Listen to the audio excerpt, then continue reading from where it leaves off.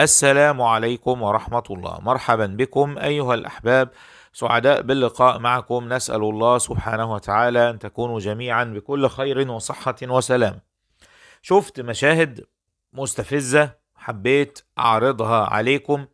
للأسف الشديد في ناس انعدم عندها حتى مشاعر الإنسانية. يعني أنا كنت من فترة طويلة معترض على مصطلح الإنسانية وبقول إن هو مصطلح مطاط ودائما بحب أستخدم مصطلح الأخوة الإيمانية وأخوة الإسلام. حتى كمان مصطلح الإنسانية ما بقاش موجود عندهم. يعني في عز ما الناس مش لاقية لقمة ياكلوها في أرض العزة في عز ما الناس لا إما بيموتوا من الجوع وإما يموتوا من القصف.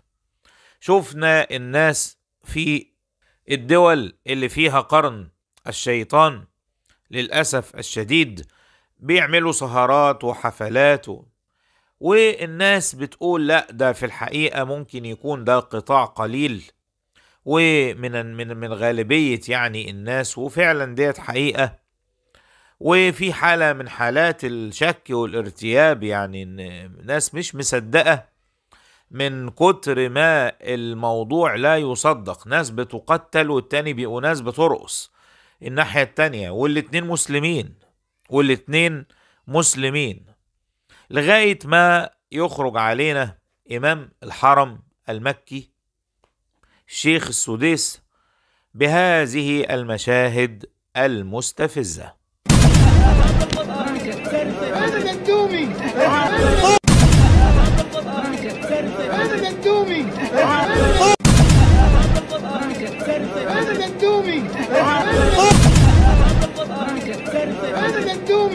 أقل ما يقال عن هذا المشهد القصير أنه مشهد مستفز لا يراعي مشاعر المسلمين. ناس قاعدين في حالة لا يرثى له.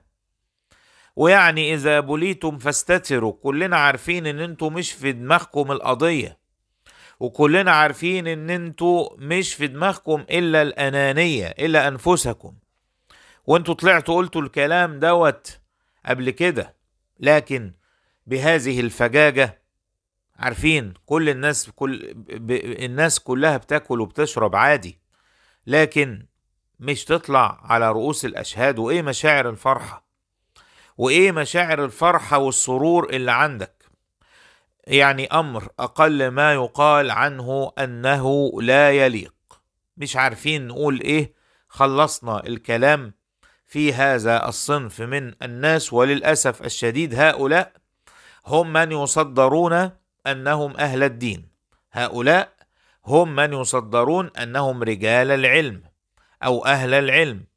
وأنا عندي تقييمات مختلفة تماما حتى الناس يعني أحيانا في حلقة البث المباشر بتسألني إيه رأيك؟ إيه في فلان وفلان والردود بتاعتي بتبقى ردود صادمة للكثير لأن ما زال لسه في ناس كتير مخدوعة في هذا الصنف من الدعاة ولا أراهم إلا دعاة على أبواب جهنم. اللي ما يشعرش بالمسلم يبقى مش مسلم حق.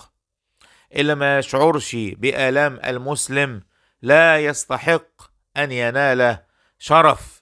الإسلام والعبودية لله سبحانه وتعالى. قولوا لنا بطريقة يعني لطيفة من غير تجريح رأيكم إيه في التعليقات على المشهد المستفز ده؟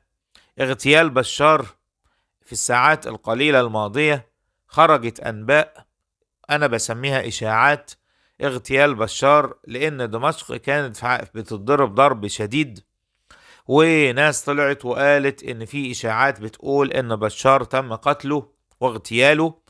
وطبعا يعني لم أعر اهتمام لهذه الأخبار لأنني أعلم جيدا إن بشار من الشخصيات المطلوب الحفاظ عليها. ولو تم التخلص منه هيبقى البديل راجل من رجالتهم. أعني معسكر النفاق اللي بيدير المشهد. علشان كده أستبعد تماما إن الموضوع يكون صحيح بتاع اغتيال بشار. كمان ال- الأردن المشاهد الغريبة يعني كثير من الأصدقاء من الأردن أرسلوا لي وقالوا لي لون السماء غريب والأجواء غريبة جدا في الأردن ومش عارفين الأمور غير طبيعية بالمرة. فيعني ال- التعليق بتاعي على اللي بيحصل في الأردن من أجواء غير مستقرة ده بيحصل في معظم الدول العربية. شايفين اللي بيحصل في السعودية وعندنا مشاهد النهاردة إن شاء الله هنعرضها مجمعة حتى على مستوى العالم. شايفين العالم بيتغير والآيات الكونية بتضرب بقوة لكن الأردن ما يعني الناس اللي مركزة مع تقلبات الجو أنا بقول لهم في الأردن بالذات سيبكم من تقلبات الجو ركزوا في تقلبات الأسرة الحاكمة اللي الأخبار طالعة في الجرائد. يعني ما تشوف مثلا الجريدة بتاعت واشنطن بوست أو التايمز في الأسابيع الماضية بيتكلموا بعناية. كلكم طبعا عارفين إن الملك عبد الله أمه بريطانية فلذلك يعني الصحف كمان البريطانية بتعتبر إن هم يعني بيتكلموا عن حد يخصهم فبيعتنوا بذكر الملك وخايفين عليه. شوف العلاقة ديت علاقة واضحة جدا. هو خايف عليهم وهم خايفين عليه. علاقة حب متبادل. للأسف الشعوب هي اللي بتخش عايزة تتعكر صفو هذه العلاقة علاقة الحب ديت. المفروض في الأردن أو في غيرها من الممالك يختاروا شعب جديد بيحب هذه الأمور علشان خاطر ما, ما لا يدخل في وسط العلاقة اللي ما بين الأحبة بتوع سايكس بيكو بعضهم وبعض. طبعا أنا بتريق لأن طبعا الناس دي فعلا لو طالت تغير شعب يعني الأسهل تغير آه، ملك ولا تغير شعب. هم بالنسبة لهم لا تغير شعب. بأكمله من أجل أن يبقى القائد الوهمي. بارك الله فيكم. بعد قليل إن شاء الله حلقة بث مباشر. سلام الله عليكم ورحمته وبركاته.